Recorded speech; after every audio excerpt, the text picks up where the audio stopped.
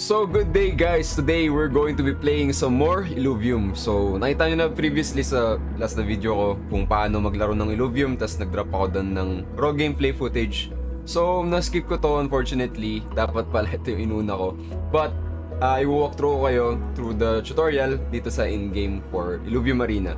So, as much as possible, tatry ko i-minimize na lang yung pagkasalita ko para ma-appreciate nyo rin siya as well as mas maintindihan yung tutorial and of course, magdo-drop-drop na lang ako ng mga insights ko as we go. So, yun, start na tayo. So, uh, lesson 1. So, Rangers, Illuvials, and Omegas. So, I'm guessing na yung Ranger, uh, yun yung player character mo. Illuvials, ito mismo yung mga champions mo, kumbaga for teamfight tactics. As well as yung Omegas, which is I think yung skill mo. So, let's go. Hmm. Yan, yung ranger mo. So, adaptable combat unit that always begins on the board. So, yun o, lahat, lagi siya, for free siya, nandiyan agad siya. And, medyo adaptable siya kasi pwede mong bigyan siya ng isang extra na affinity gamit tong bond. Pati yung armor tsaka yung weapons niya is napapalit-palitan mo as you go dun sa matches niyo. So, panel, ito, Illuvial first. Okay, so magkasama lang. So, yung Illuvials mo, yung pinaka mga champion mo sa teamfight tactics. So, pag mo dyan, tapos yan. Anong klase siya? So, Fire and Bulwark. So, previously sa last na video ko, na-mention ko na kung ano ibig sabihin nito, di ba? So, yung Fire, yung element niya, yung affinity niya. Tapos, yung Bulwark, yung kumbaga yung archetype niya. Uh, kung tank siya, or damage dealer, or whatever man. So, yan. Okay, nag-start na siya. Uh, energy, yan yan, para mag-cast siya ng skill at yung energy bar niya. Tapos kapag, okay, so yun nga ang tawag dun sa ability niya. So Omega, yun lang yung term niya for abilities. But basically, pagka napuno yung mana or yung energy ng Illuvial mo, yung Ranger mo, uh, mag-fire na siya ng skill. So ito. Yung skill niya, apparently, heal, saka attack.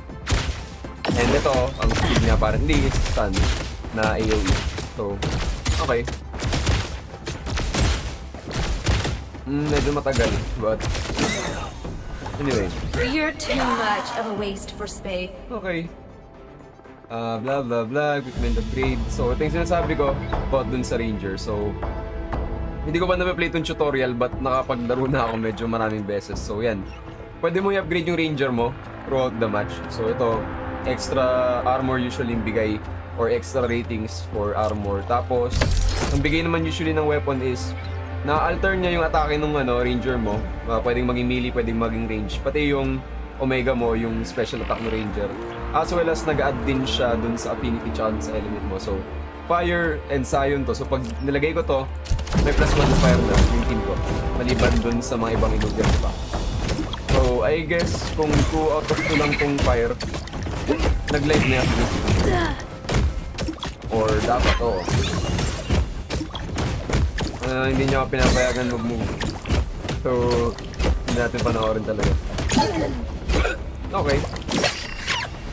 I shall not. Mm, okay, next, next. You may now deploy alluvials and move existing ones. Okay, so, meron tayong fire dito, di ba? Uh, fire siya and bulwark. So, ideally, malapit na, na nating mabuo, sorry, yung fire. Because dalawa na yung fire natin. So, ito sana, kaso wala. Uh, so, ang second best natin is as much as possible kasi gusto mong bumuo ng synergies, di ba? Na kung ano yung same na elements yun yung dapat i-spam mo. So, I guess ang best choice dito technically is ito, tong bulwark din. Kasi at least, dalawa yung bulwark natin. Kahit na hindi na natin malalabas yung same na affinity. So, okay. Actually, lagay na rin pala natin yung space din. Ganun din pala. Anyway. Mm, usually, uh, mga ganitong laro kasi, ideals lang siya. So, hindi mo laging makukuha yung ideal na gusto mo na comp or whatever man na gusto mo laruin. Your So, download ang nangyayari usually sa is mga, ga- mga games na ganito is, labanan to ng ah, kung sino yung kayang bumuo ng second best or yung best na kung ano man yung nabigay sa'yo sa hand mo. So, next part ng tutorial is ano to? Okay yan. So pagka PvP, nakalimutan ko i-mention, but merong ring ranger, sy- syempre yung kalaban mo. So yan, meron siyang ranger na, and of course, total available mastery points. Ah, ah, okay. Yun yung gold lang pala. Gold mastery points. Okay. Mm, so, ano pipiliin natin? Kailangan ng dalawa. Dalawa lang pwede natin piliin. So, ang pipiliin ko itong dalawa. Bakit? Kasi pareho silang fighter. At the very least, may mapoproc tayo na Nerd. Oh, mas okay. Kaysa yung, kumbaga kaysa yung parang chapsin tapos bara-bara yung tira mo na wala namang synergy. Mas okay yung ano, I pipiliin mo talaga kung ano yung ma- second best mo na mabubuo mo. Kasi ako, ideally, mas gusto ko na ah, same affinity as well as same class, di ba? But, yun nga, like I said, malabo na nangyayari yung mga ano, super ideals. Stage, stage, stage, okay. Mm, higher stage through ascension, so... Mm,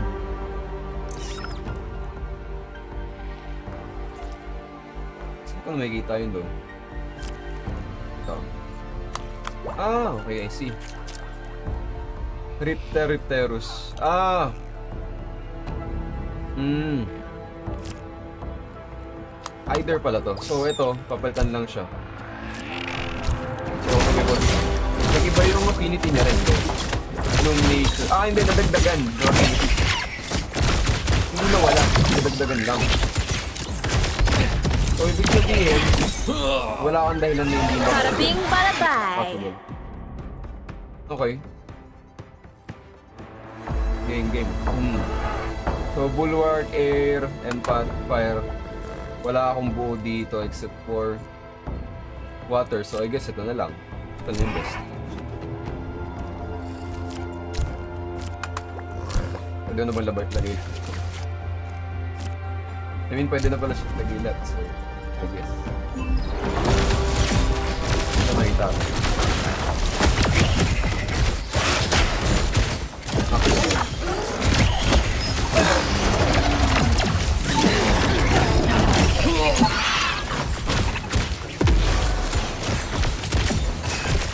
Okay.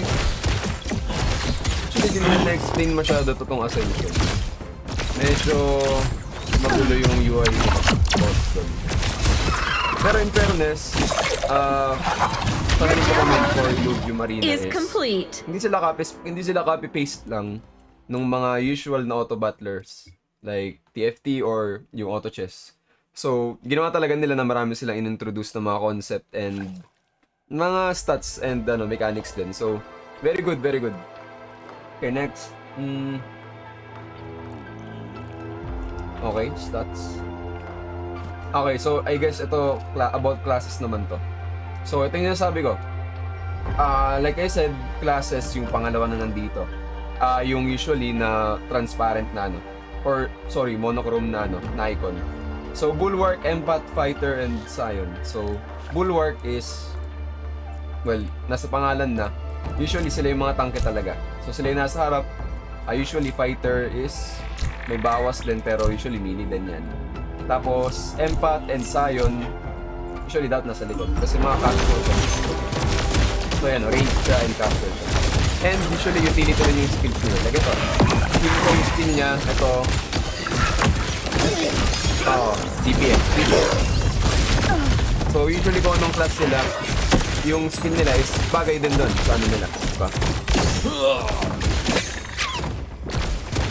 So, ayan. Mabilis lang. Hmm, yun yung skill niya. Yung honing yun. Nice. Got rogues, now they're tricksters. Okay, so yung mga rogues naman, ah tumatalon to sa likod ng board kapag ka nag-start yung game. So, itong dalawa tatalon to. Which means, hindi, lagayin ko na item to para maging bulwark siya. Tapos ang gagawin ko, gigit na ako to. Ito yung lalay ko sa dulo para uunahin siya. Kasi mangyayari tatalon tong dalawa dito sa dulo ng board. So, start. Well, yung isa lang nakuha. But, I think okay na rin. Tingnan natin.